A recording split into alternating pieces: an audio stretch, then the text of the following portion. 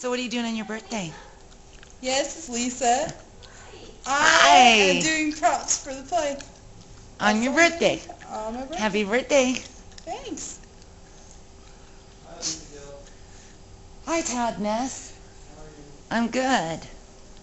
So, uh, Mandy, Yeah. you won't let me touch the hot glue, will you? you want to get some onion? Okay, I can help you with that. I'm surprised you can even hold a steady hand after what you've been through today. I'm honestly. so relaxed. I'm like Yeah. butter. Like butter. like butter. Now what, Mandy? Just thinking, Lise. Well, I thought we were going up to the upper room, but Thinking, no. thinking, Lise.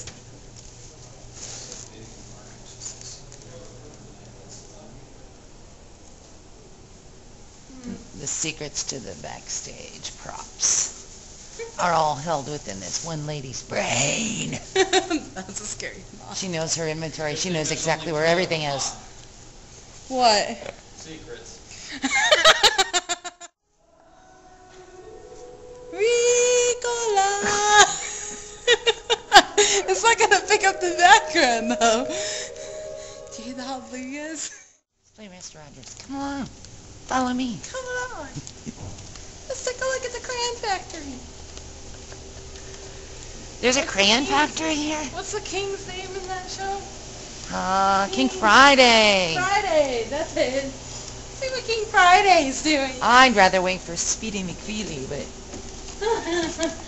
wow. I Can't believe your brain retains all that. all the time, nonstop. Imagine the view. Whoa. Isn't it nice that the apostles get to eat cookies, Oreo cookies, oranges, and then we throw broccoli on there. It's like, ha ha, you picked the broccoli, ha, you lose. You lose. Okay, Upper room. of course. Some porch that we just built in.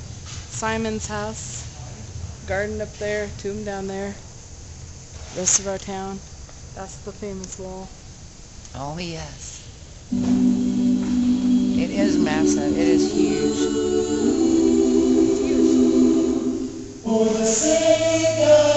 Band barn. The what? The, band band, barn. barn. Band's in a barn. Yeah. Jesus bowed his head and gave up the ghost.